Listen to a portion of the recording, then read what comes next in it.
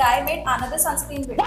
I think it's time we talk about it. First of all, SPF is not a regulated drug in our country. Any typical brand undergoes two types of tests, either an in vitro or an in vivo study, which was talked about in that video.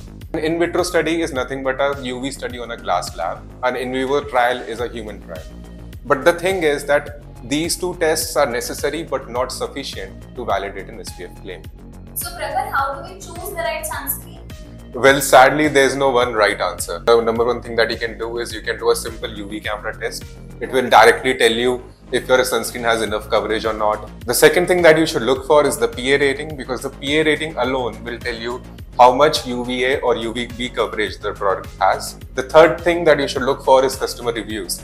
Check if the sunscreen is suitable for oily skin, for dry skin, combination skin, or just doesn't suit your skin type. So, in short, don't just trust one influencer or one certificate to make your decision. Make a conscious choice and do your own research.